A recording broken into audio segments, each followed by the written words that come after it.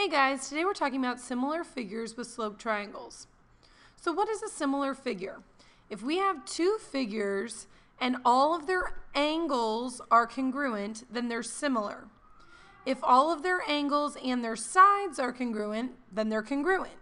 So what I mean by similar is that angle A and angle X are congruent. Okay, this symbol right here means congruent. Angle B and angle Y are congruent, and angle Z and angle C are congruent. So the two figures are similar. Please make sure that you write down the symbols here and the model for me. You don't necessarily need the words. You need similar figures, these pictures, and this right here, because these symbols are important.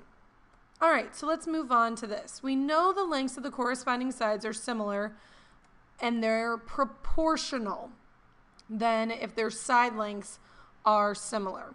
So when they're similar polygons, you can use proportions to find the unknown lengths. Here's what I mean by that. For example, these are not the same figure, but their angles are the same, so they're similar, which means that their sides should be in proportion with one another. So, so I got rid of that work at the bottom because I want to show you my way.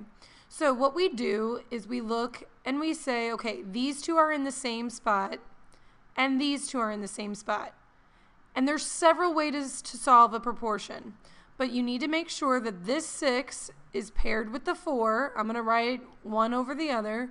And then the x is in the same position as the 6 and the 12.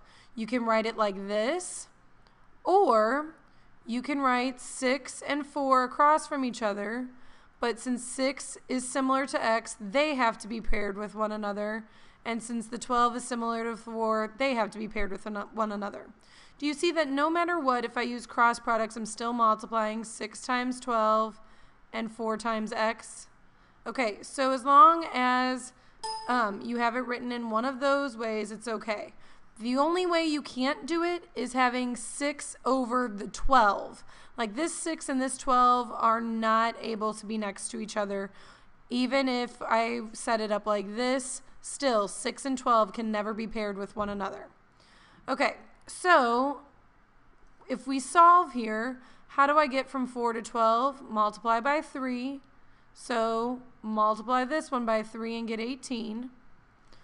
Or in this case, it's not really easy to get from 6 to 4, so we can use cross products.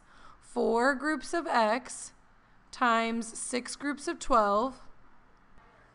So that's 72. Divide then by 4 and x equals 18. So no matter what, we figured out our x. Okay, I want you to go ahead and try this one. I'm going to erase my work um, on this one so I have some room to show you the answer here. Pause the video and I'll be back in just a second to show you what I did. Okay, so what I did on part B is I looked and I paired up 10 with this one down here that I don't have.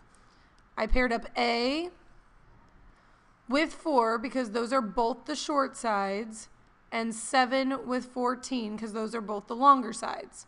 So do I need this 10? Nope, because I don't have anything over here that'll help me.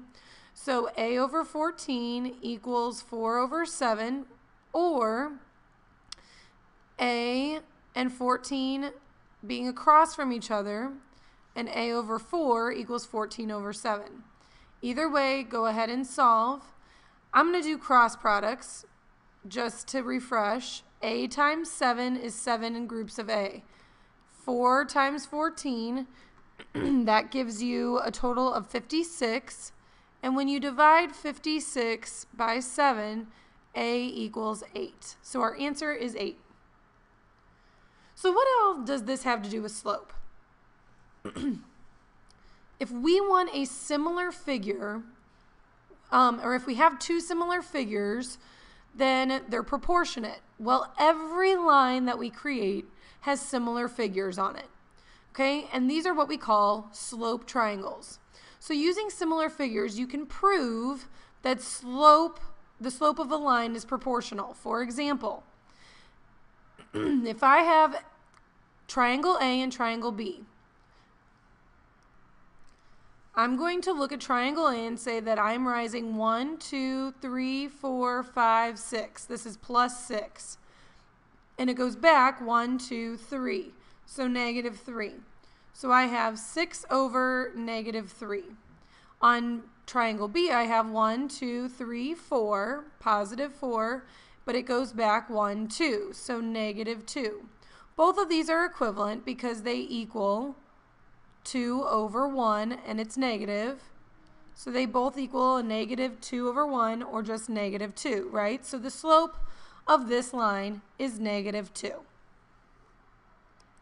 If I look at this one, I'm looking at the rise, how much it's going up and over. So it's A is going up 1, 2, 3 plus 3, and over 1, 2, 3, 4 plus 4.